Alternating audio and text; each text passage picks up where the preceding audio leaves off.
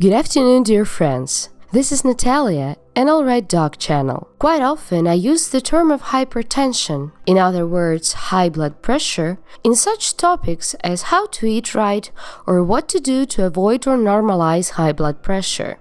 And I believe some of you, especially those who often encounter with hypertension, would ask, Alright, doc, what medications are the best in dealing with high blood pressure? Today I will tell you about 5 commonly used medications for the treatment of hypertension and reveal the little secrets of their use.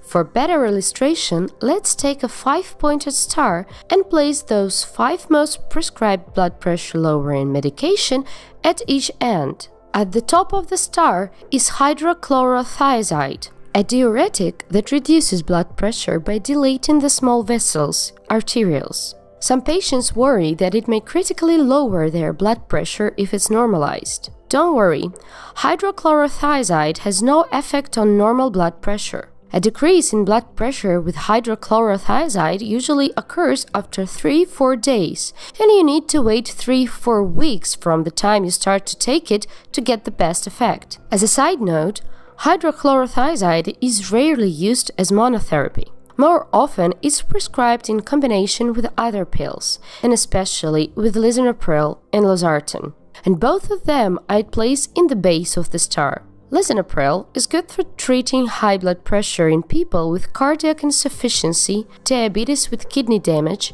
and past myocardial infarction.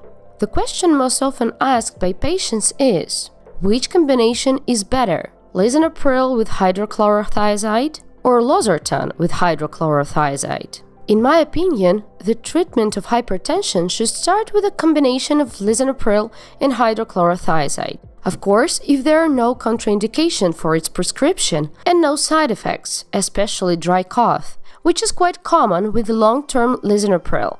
Why do I emphasize lisinopril and not enalapril, which patients are more familiar with?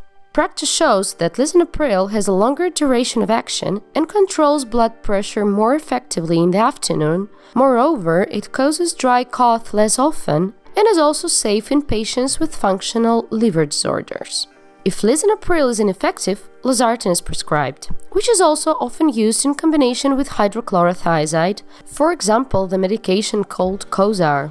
This medication is quite effective in terms of controlling blood pressure, besides side effects are rare. However, if you have problems with the liver, it is still better to ask for lisinopril.